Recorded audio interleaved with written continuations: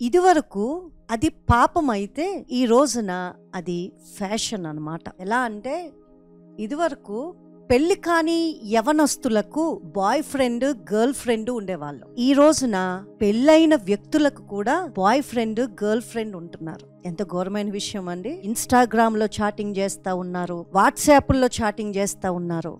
ఇంట్లో ఉన్న భాగస్వామితో మాట్లాడడానికి టైం ఉండట్లేదు కానీ ఎక్కడో ఉన్నటువంటి వారికి ఇష్టమైన వ్యక్తితో మాట్లాడడానికి మాత్రం గంటలు గంటలు వెచ్చిస్తూ ఉన్నారు. అది ఒకవేళ ఇంటిలో ఉన్నటువంటి భార్య ఎవరితో మాట్లాడుతున్నావు? ఎందుకు మాట్లాడుతున్నావు? నాకు ఇలా ఇష్టం లేదు అని భర్తతో అంటే ఆ భర్త అంటాడు నేనేం తప్పు చేయట్లేదు కదా? నీతోనే ఉన్నాను కదా? అలాంటప్పుడు ఎవరితో మాట్లాడితే ఏంటి? ఎవరితో ఎంతసేపు ఉంటే ఏంటి? నీతోనే ఉన్నాను కదా? ఇలాంటి సమాధానాలు చెబుతా ఉన్నారు. చర్చిల్లో కూడా బ్రదర్ సిస్టర్ అని పిలుచుకుంటా ఉంటారు. కానీ అక్రమమైన రీతిలో నడుస్తూ ఉంటారు. పైగా దేవుడు మమ్మల్ని కలిపాడు అని అంటూ ఉంటారు. దేవుడు కలపడం ఏంటి? నీ భార్యతో దేవుడు నిన్ను కలిపాడు. నీ భర్తతో దేవుడు నిన్ను కలిపాడు. అంతేగాని అక్రమమైనటువంటి సంబంధాలను దేవుడు తీసుకొచ్చి కలపడు. గుర్తుంచుకోండి. నువ్వు ఎవరితో మాట్లాడాలి? నువ్వు ఎవరికి నీ సమయాన్ని వెచ్చించాలి? దేవుని నమ్మినటువంటి వ్యక్తులు ఎలాంటి వ్యక్తులుగా మారిపోతా ఉన్నారండి ఈ రోజుల్లో? పాపం చేస్తూ ఇది లోకంలో అందరూ చేసేదండి తప్పేం కాదండి. జస్ట్ ఫ్రెండ్స్ అండి. జస్ట్ ఫ్రెండ్స్ ఏంటి? నీ భార్యతో ఫ్రెండ్షిప్ చే నీ భర్తతో ఫ్రెండ్షిప్ చే దేవుడు అందుకే మిమ్మల్ని ఇద్దరిని జతపరిచాడు. మీ ఇద్దరిని ఎవరు వేరు చేయకూడదంట.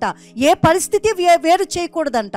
మీరు ఒకరికొకరు మనసు విప్పుకుని మాట్లాడుకోండి. మీరు ఒకరి కోసం ఒకరు చేయబడ్డారే కానీ ఎవరి కోసమో కాదండి. పరాయి వ్యక్తుల కోసం మీరు రూపించబడల దేవుని దృష్టిలో. నువ్వు మాట్లాడుతున్న వ్యక్తులకి ఏ రీతికి ఎడిక్ట్ అయిపోతా ఉన్నావు? నీ కుటుంబాన్ని విడిచిపెట్టేసే రీతిలో ఎడిక్ట్ అవుతా ఉన్నావా?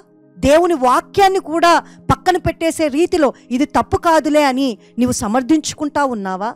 ఒక్కసారి నీ మనసు నువ్వు ప్రశ్నించుకో ప్రియ దేవుని బిడ్డ. దేవుడు ఇలాంటి విషయాలను క్షుణ్ణంగా పరిశీలన చేస్తాడు. ఊరికే టైం పాస్గా మీరు ఏ పనులు చేయకండి. ఒకవేళ అంత టైం ఉందనుకోండి కుటుంబంతో కలిసి ప్రార్థన చేయండి కుటుంబంతో కలిసి దేవుని గురించి సంభాషించుకోండి. అది దేవుడు మీ కుటుంబానికి ఇచ్చే ఆశీర్వాదం అది. విస్తారమైన మాటల్లో దోషం ఉండక మానదు అంట.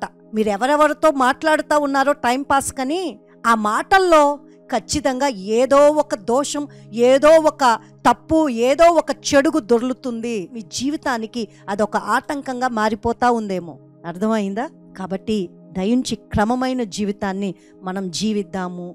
క్రమమైన సంకేతాలను మన తర్వాత తరానికి అందిద్దాం.